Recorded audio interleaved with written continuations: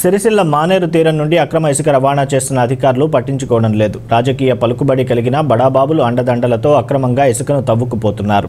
రాజన్న సిరిసిల్ల జిల్లా కేంద్రంలోని SP camp కార్యాలయంకు collector కార్యాలయానికి పట్టణ పోలీస్ స్టేషన్కు కూతవేటు దూరంలో బతుకమ్మ ఘాట్ సమీపంలో నుండే కొందరు కాంట్రాక్టర్లు నిర్భయంగా పట్టపగలు ఎలాంటి అనుమతులు లేకుండా జేసీబీల సహకారంతో ఇసుక లోడ్తో ట్రాక్టర్ల ద్వారా తరలిస్తున్నారు. ప్రజలకు అవసరమయ్యే ఇసుక రవాణా విషయంలో ముప్పతిప్పలు పెట్టే సంబంధిత అధికారులకు ఈ దృశ్యం కానరాకపోవడం విడ్డూరంగా మారింది.